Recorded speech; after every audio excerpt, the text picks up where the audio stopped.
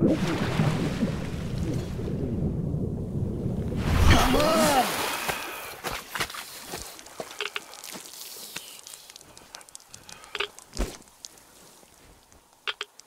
the fuck was that? A whale?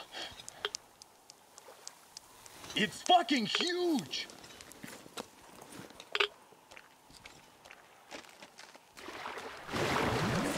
As a forward sentry. Told me that I was to sit tight and under no circumstances look for any action.